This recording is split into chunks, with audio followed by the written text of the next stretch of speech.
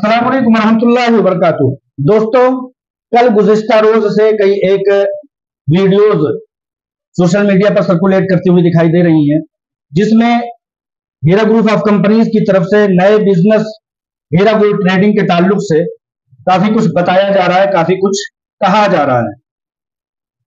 खासतौर से इस दरमियान में जब से हीरा गोल्ड ट्रेडिंग का नया कारोबार शुरू हुआ है, उस वक्त से खासतौर से मेरी तरफ़ से काफ़ी इस बात की कोशिश रही है कि हीरा ग्रुप ऑफ़ कंपनीज़ मुस्लिम मीशत एक बार फिर से अगर खड़ी हो रही है तो बेशक उसका हक है, उसकी मजलूमियत है और उसकी पायादार शख्सियत और वजूद है कि उसको खड़ा होना चाहिए, उसको दोबारा चलना चाहिए। क्योंकि 20-25 साल तक 20-25 साल तक हीरा ग्रुप ऑफ़ कंपनीज़ ने अपनी बेबाकाना अंदाज में लोगों के दरमियान में चलकर फिर कर और दौड़कर आलमी पैमाने पर अपना नाम और वजूद दर्ज कराया है। हज़ारों, लाखों और करोड़ों लोगों तक अपनी इयादत और अपनी दादरसी पहुंचाई है।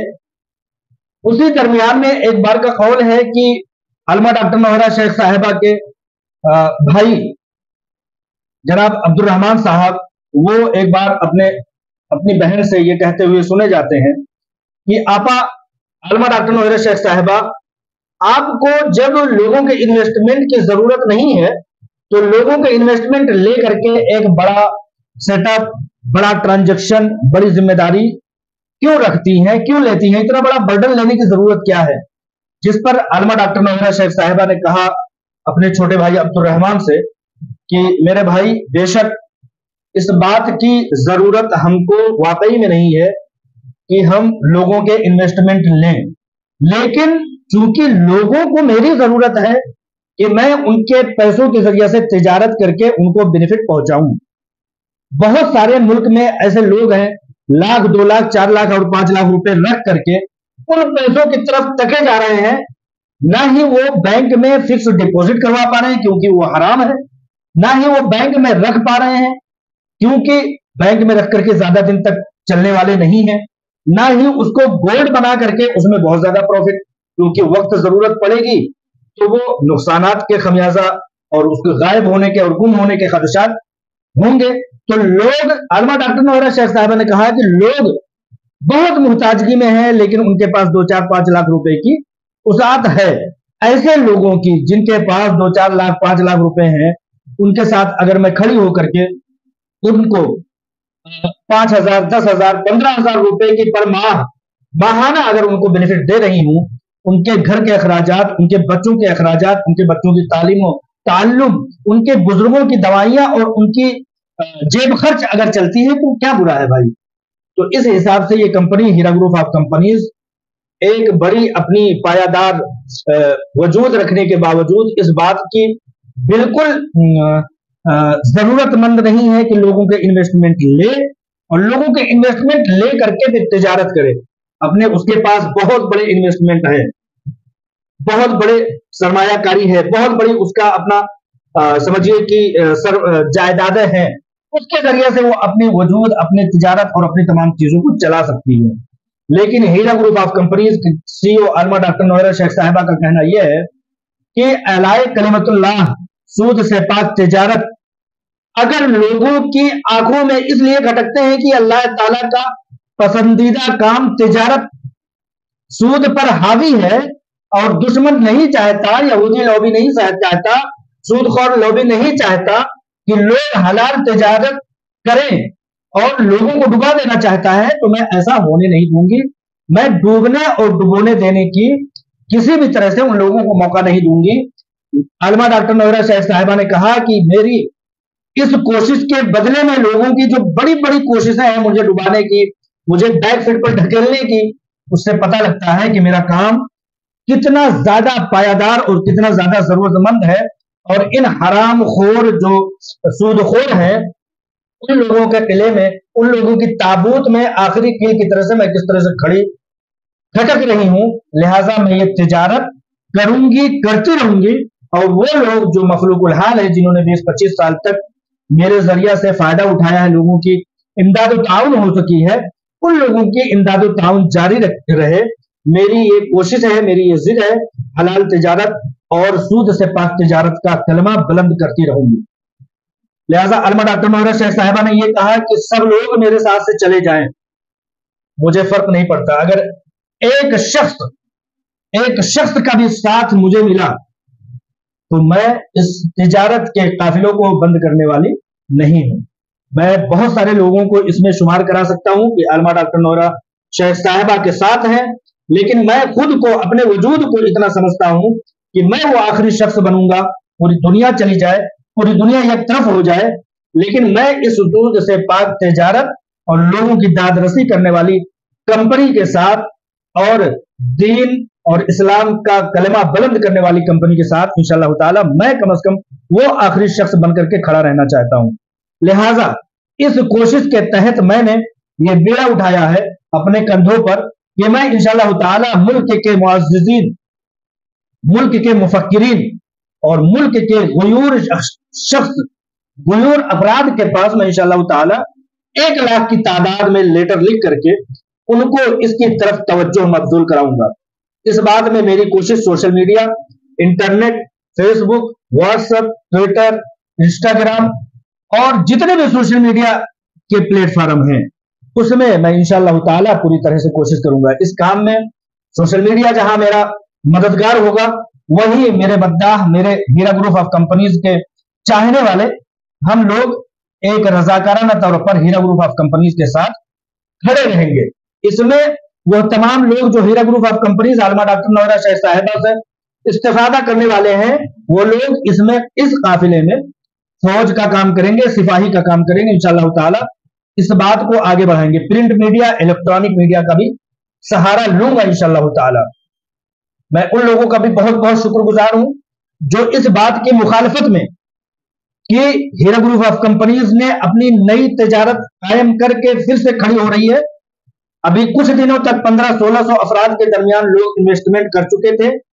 अब हालिया अगस्त जुलाई के लास्ट महीने में मिलने वाले रेशो और मिलने वाले रिकॉर्ड के मुताबिक अल्हम्दुलिल्लाह 2000 अफराद की तादाद हेरा ग्रुप ऑफ़ कंपनीज़ में शिरकत कर चुकी है। मैंने कहा कि मैं उन मुखालिफ सिमत में खड़े होने वाले यूट्यूबरों मुखालिफ सिंध में खड़े होने वाले लोगों का भी बहुत बहुत शुक्रिया अदा करता हूँ। क्योंकि वो लोग मेरी उस कोशिश में मनफी अंदाज में ही सही, लेकिन मेरी कोशिशों को चार चाँद लगा रहे हैं।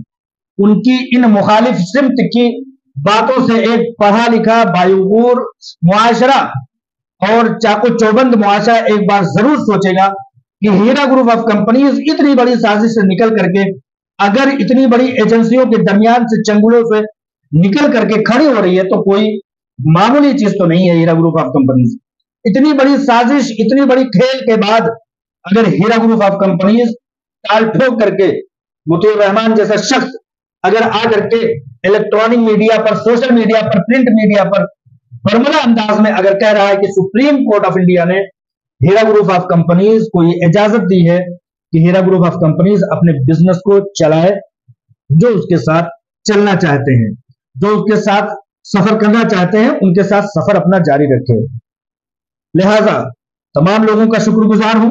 मुखालिफ सिमत में खड़े होने वाले भाइयों का भी शुक्रगुजार कि कम अज कम चाको चौबंद और बेदार मर्ज लोगों को सोचने का वो लोग मौका दे रहे हैं कि हेरा ग्रुप ऑफ़ कंपनीज़ मामूली कंपनी नहीं है। अल्लामा मौलाना अबुल कलाम आज़ाद साहब ने कहा था कि जब तुम चलोगे तो पैर में ठोकरें लगेंगी। जब तुम दौड़ोगे तो तुम्हारे पैर लहूलहान ज़रूर होंगे। जब तुम चलने की कोशिश करोगे तो तुम्हारी मुखालिफत में आवाज़ें उठेंगी। लेकिन अगर तुम पैर तोड़ करके, हाथ पैर तोड़ करके आलती पालती मार के बैठ जाते हो तो तुम्हें ना तुम्हारे पैर जख्मी होंगे, न तुम्हारे दामन में कांटे चुमेंगे न तुम्हारे पैर जख्मी होंगे और लोहलहान नहीं होंगे। लिहाजा चलना और लोगों की आवाज़ें उठना हमारी बातों की पहुँचने का बहुत बड़ा बहुत बड़ा एक कामयाबी का जामिन है। लिहाजा एक लाख लेटरों को लिख करके मुल्क के मुआजीन और मुफक्रीन की तवज्जो मबजूल कराना मेरी अपनी खास तौर से कोशिश है। यूट्यूबरों के ज़रिया से, मनफी किरदार अदा करने वालों के ज़रिया से मुझे ये बात अल्हम्दुलिल्लाह पहुँच रही है कि शर में भी खैर का पहलू होता है। लोगों तक मेरी आवाज़, मेरी तहरीर, मेरी बात पहुँच रही है। मेरे खत, मेरे लेटर डिलीवर हो रहे हैं और वो कहीं ना कहीं इन मनफी किरदार अदा करने वाले भाइयों के ज़रिए से मुझ तक इतमान बनकर पहुँच रहा है। मेरे गुरु, मेरे बहुत ही मुखलिस, मेरे बहुत ही एक चाहने वाले भाई, जो बड़े भाई के तौर पर हैं, मेरे सगे भाई के तौर पर हैं, उन्होंने एक वक्त में जब मुझे बहुत बड़ा चैलेंज का सामना हुआ था, मुझे बहुत बड़ी एक रसवाइयों का सामना हुआ था, तब उन्होंने कहा था, रहमान भाई, देखो जब आप काम करने के लिए मार्केट में उतरोगे, सड़कों पे उतरोगे तो पत्थर आपके ऊपर चलेंगे। पत्थर आपके ऊपर फेंके जाएँगे, यानी कि मुखालिफ सिमत में आवाज़ें उठेंगी, पत्थर फेंके जाएँगे। ये रहमान भाई आपके ऊपर है कि उन पत्थरों को आप अपने पैरों का रोड़ा बना लेते हैं, अपने पैरों की ठोकर बना लेते हैं।